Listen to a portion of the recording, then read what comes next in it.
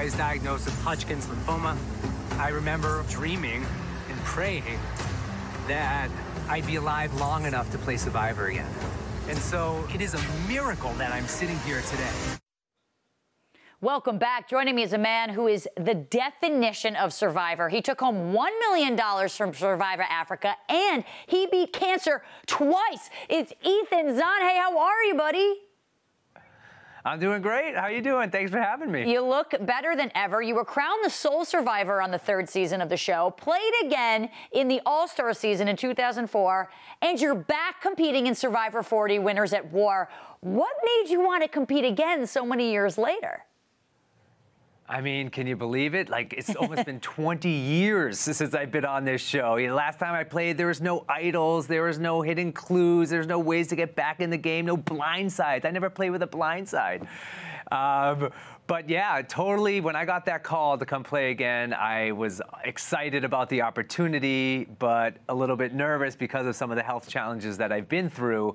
So for me to be able to get back to a place in my life where I'm mentally and physically, spiritually, like ready to go out there and play this show uh, was just a blessing. And uh, so just getting to the starting line of Survivor 40 was you know, winning for me. Well, it's wildly impressive. I mean, coming back in the game, did you feel like you were out of touch or did you have to brush up on some skills? You know, I felt I was a little bit out of touch, but of course I watched every single episode leading up to 40, and I did the best that I could to prepare myself. You know, my wife and I, you know, she was hiding idols for me in the in the forest. We live in New Hampshire. You know, I was training, biking, puzzles, you know, reading personality books, like uh, lip reading. I was doing everything in my power to try to like get myself to a place where I could go out there and play against some of these new schoolers. Well, what lessons are you taking from your past experiences to Winners at War? I mean, you've won it, so you're a pro. So what are you taking from there to here? Well, the thing about this one, everyone is a pro. Everyone is coming back with a pretty incredible resume. You know, but I truly believe that at its core, Survivor is a game of relationships. It's how you work with the other people, how you interact with the other people that determine how well and how far you'll go in this game. And that's the way I played in Africa. And I wanted to bring that kind of relationship building, the social game, into season 40 because when it comes down to it, in the end, people want to vote for someone they like. It's and it's a likability type of thing. So I thought I, I could have a, a pretty good chance going forward using my social skills. Well, it's definitely mental and physical. I want to play a clip from the Winners at War trailer because, as you mentioned before, it's different and there's absolutely a couple of twists. Let's watch. 20 returning winners face the return of the edge of extinction and encounter a new twist that will completely reset how the game is played. Plus, they're playing for the biggest prize in reality show history. How about $2 million? I mean, how about $2 million? What would you do with $2 million? I am laughing right now. It's insane. It's insane. What would you do with the 2 mil? Oh my God, there's so many things that I would do. Uh, I'd probably build an entire wing of my house just for my cats, you know. And you are uh, my God. I would enjoy that. you know, obviously I'm a big charity guy, so I can't necessarily say I wouldn't use the money for charity because just that's my thing. Uh, but you know, the the two million thing was unbelievable because no, everyone went into the show assuming it was just going to be the traditional one million dollars, and then Jeff's like, oh yeah one more thing. It's $2 million. And everyone just cheered and screamed, and we were just so pumped. I mean, listen, biggest prize in reality TV history. Tell us more about these fire tokens in the new season. How is that going to play into it? I mean, that's it's a new twist, right? And I think it's unbelievable how Survivor keeps coming up with these uh, interesting ways to get people excited to watch the show as well as players. You know, this is a new twist for all of us. So as the fire token concept moves forward in this game, it has a, it has different ways it's used, and so I think it's gonna be really exciting for the fans to watch. And not only that, the next seasons, if they bring these fire tokens back, the the new players are gonna have a lot of uh, a lot of ability to see how to use it. What's the right way to use it? Some strategic ways to use these fire tokens, but I don't think the actual it's it's been fully developed yet.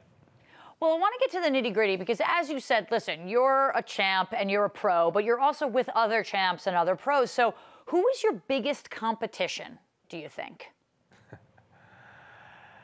Everyone's our biggest competition, but I felt a little bit more, not the word intimidated, but nervous to play against what I'd like to call the new schoolers.